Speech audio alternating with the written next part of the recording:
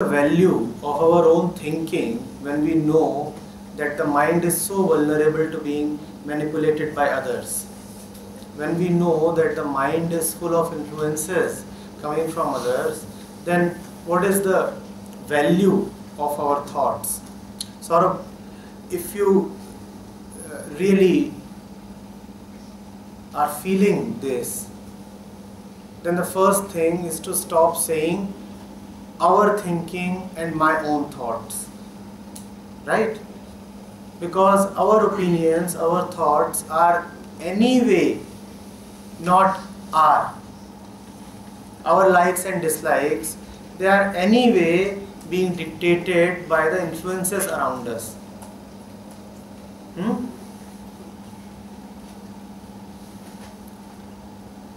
Born in India, you like cricket so much. Born in Argentina or Brazil, you wouldn't have heard of cricket. And today you say, oh my god, I'm all the time thinking of cricket. Maria Sharapova recently said Tendulkar, who?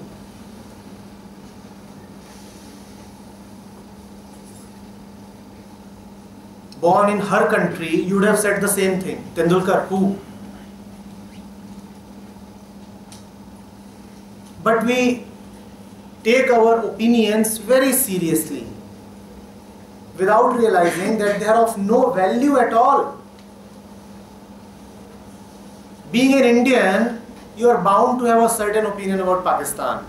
And being a Pakistani, you are bound to have a certain opinion about Afghanistan.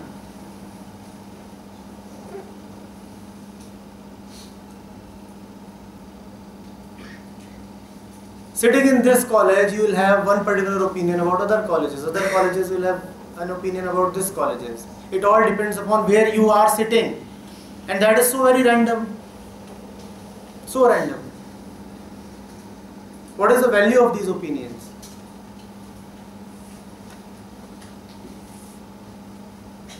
Only two places, from only two places do all our opinions come from? One, either the body, B, the society. There is no third place. How do opinions come from body? The tongue tells you something is tasty. So now you have an opinion about it. Being born a man, you will have a particular opinion about women. Women do not have the same opinion about women that men have about women. Right or wrong? So is it your opinion or your body's opinion? And what is the body? Nothing but a random event of X chromosome versus the Y chromosome. And you call it my opinion and you are so serious about it. Somebody contradicts your opinion, you are ready to fight. What are you fighting for?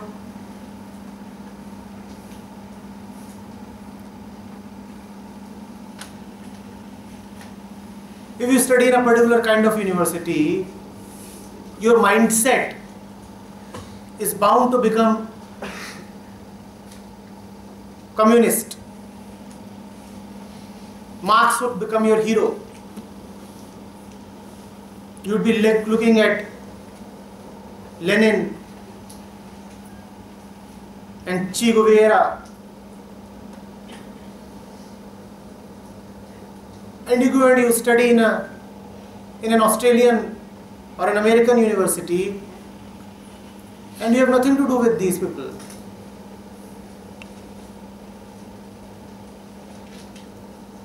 No, you are talking only of the great economists.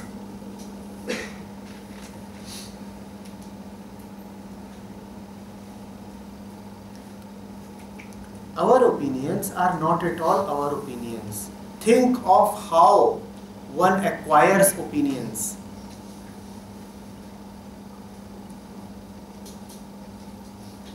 And when I say opinions, that includes the entire family of opinions, thoughts, attitudes, likes, dislikes, everything. the entire content of the mind, is it really, really mind? Or has it come from random influences? Born as a Hindu, you will have a certain attitude about Muslims. Born as a Muslim, you will have a certain attitude about Jews. Of course, little bit of variation might be there, but broadly it is defined.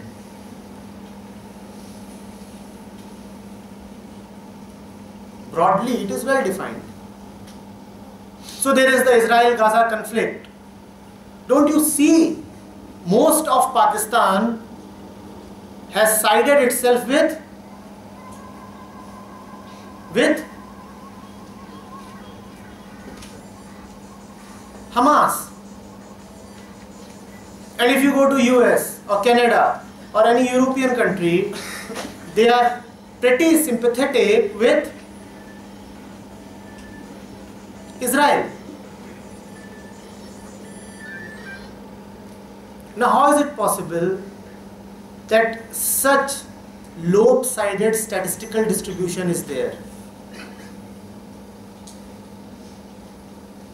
The Pakistani will say Hamas is doing just the right thing. Now, is the individual saying this or is the Pakistani saying this? Is the individual saying this or is the Pakistani saying this? The American is saying Israeli Israel is doing just the right thing. Now is the individual saying this or the American saying this? So are their opinions their opinions or are the opinions of the influences around them? But what will they say? My opinion. And they're prepared to die for it. The Pakistani and the American, if they meet, they'll kill each other. My opinion versus your opinion. Is it really your opinion? Really your opinion?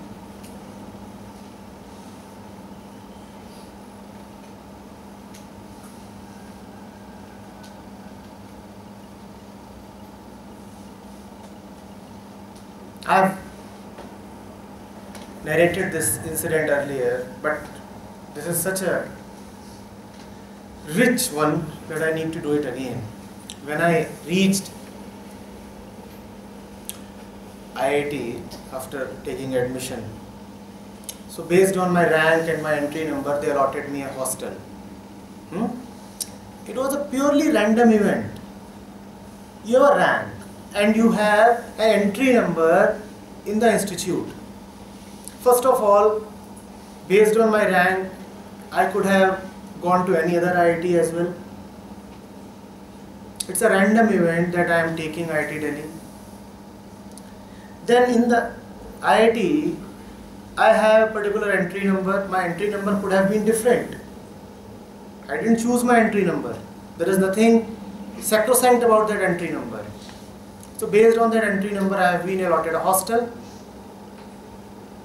So I reached the hostel and after the initial ragging and everything, the seniors call us and they say, now we are going to the terrace of the hostel. He said, wonderful. For what? They said, there we'll abuse all our host all the other hostels. From there we can see everybody else. So together we'll abuse them with the choicest kind of expletives. So we were trained for half an hour. Three dimensional, four dimensional, fifth degree abuses. Today we have to rock the campus. Today we have to show the entire campus that our hostel is this and the other hostels. We know all about your mothers and sisters. So I was also enthused, but I said, but tell me something. Why do I have to abuse them? They said, because you belong here. I said, I belong here only because of an entry number with a little bit change here and there, with some other random event happening, I could as well have been in that hostel. It's such a random event. And you're asking me to abuse them? They said, ये hostel द्रोही है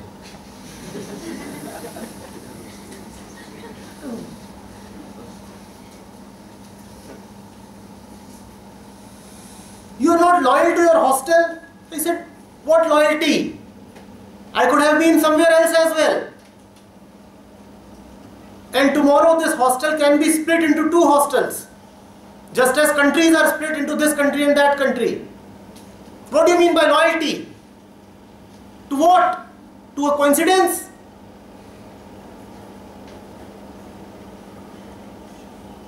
So ultimately, instead of abusing other hostels, they all ended up abusing me. I said, this is a wrong kind of man that has come to the hostel. He's not loyal. Because you are here, so you must display loyalty.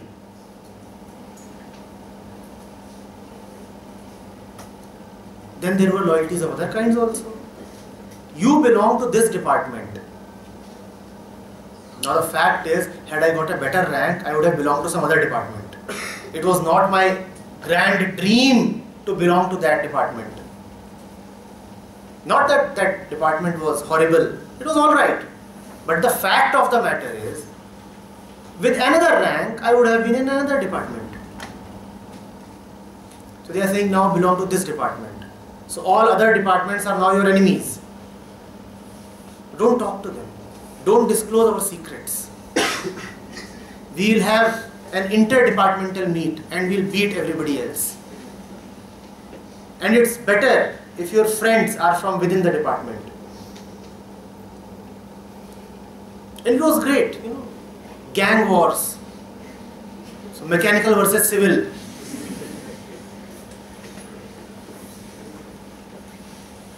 Biotechnology versus electrical. For what? And every biotechnology student feels electrical is worst. Same opinion. And all electrical students can swear that biotech is hell. Same opinion. What is the worth of these opinions? What is the worth of these opinions?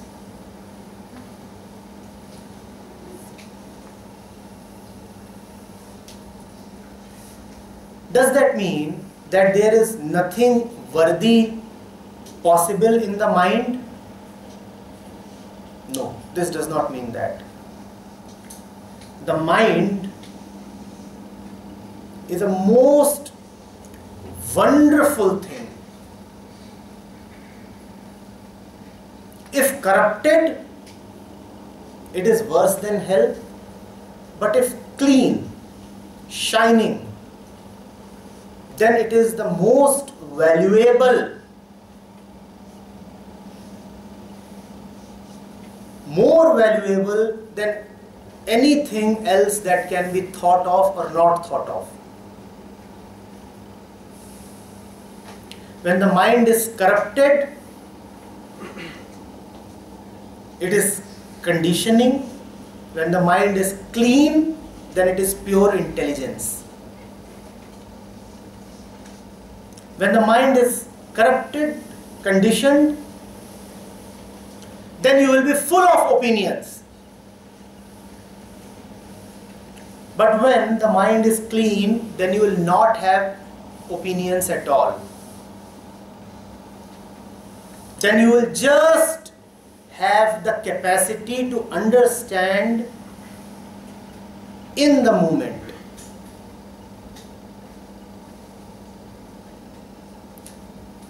See, look, there are two ways you can come to this session. One, I already know what this seminar, what this course is all about. Hmm? So then you have an opinion, a kind of attitude about the course and about me. That's the fool. That's the conditioned mind. And there is another kind of mind possible which says, No, I do not know anything. I do not know anything, but surely I have the capability to understand. So I'll go and I'll sit and I'll listen. And as I listen, I'll understand. Why do I need to have ready-made opinions coming from the past? Intelligence is enough. Understanding is enough. and that is valuable. Now it depends on you. What do you want to use your mind as? You can use your mind as a storehouse of opinions or you can use your mind as the seat of intelligence. What do you want to use your mind as?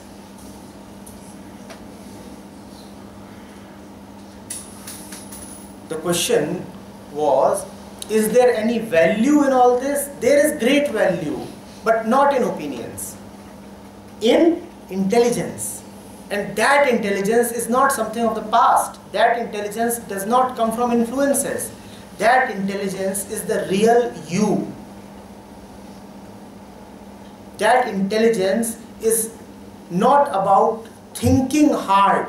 That intelligence is about being so still that you just understand.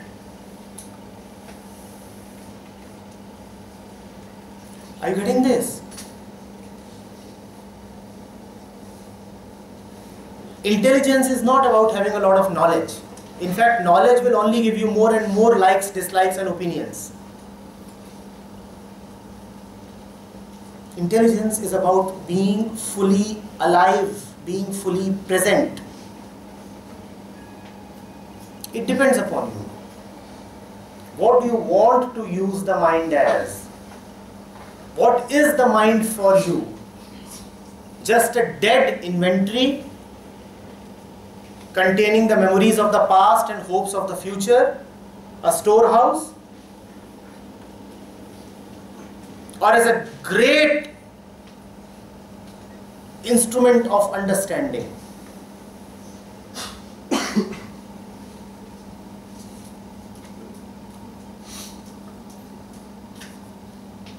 and understanding happens only in an atmosphere where attitudes are not there. Attitude and opinion means I already know. When you already know, then how can you know? When you already know, then how can you know?